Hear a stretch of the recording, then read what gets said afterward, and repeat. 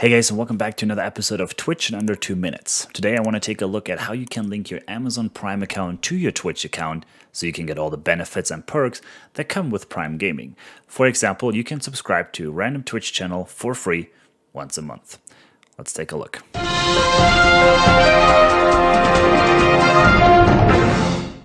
In essence, there are two ways you can do that. The first one is just head over to your Twitch page. On the top right corner, click your Twitch item, go down to settings, and then click on connections. Right here, you can link your Amazon account to your Twitch account. And if you are subscribed to Amazon Prime, you will get one subscription for free every single month. But there's a second way. For that one, just head over to Prime Gaming. This is also where you can claim all of the loot that comes with Prime Gaming. And in the top left corner, you can link your Twitch accounts. It's that easy. Now that you have linked your Amazon account and your Twitch account together, you can enjoy the one free sub a month and you can also enjoy all the benefits that come with Prime Gaming, but we'll go over those in a different video. If you liked the video, if it was helpful, leave a like and a comment down below and uh, hope to see you guys in the next one.